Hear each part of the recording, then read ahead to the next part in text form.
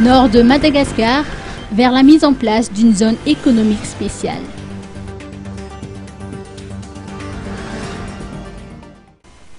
La deuxième conférence sur les investissements stratégiques dans le nord de Madagascar se tiendra dans la capitale malgache du 20 au 23 février prochain. Ce sera une occasion de présenter les opportunités d'affaires et les leviers de croissance économique de ces régions. Le plateau d'Andjakak est un lieu stratégique.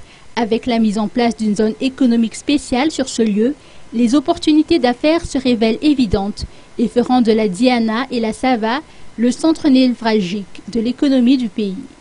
Une reconnaissance sur site aura lieu les 24 et 25 février prochains à Antranen. Des précisions ont été apportées à la presse ce matin à l'hôtel San Cristobal Ivatu. Je dirais euh, une mise en place progressive euh, euh, du contexte légal, hein, notamment à travers la loi sur les 3P, la loi sur les zones économiques spéciales. Aujourd'hui, donc, on est en mesure d'avoir euh, un entretien, des échanges très concrets avec des opérateurs, qu'ils soient nationaux ou internationaux, et avec donc euh, une possibilité pour ces gens-là de s'engager de façon très concrète sur euh, leur participation sur les, différents travaux qui vont se faire. il y a aussi lieu de savoir que aujourd'hui, une partie des études de faisabilité technique et financière ont été réalisées.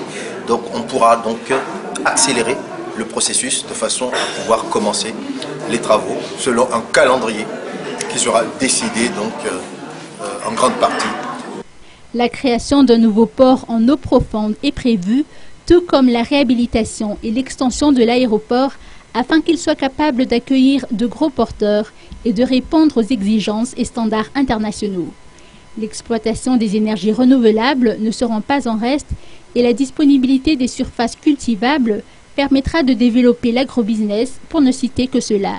La zone économique spéciale constituera une locomotive du développement des régions du Nord.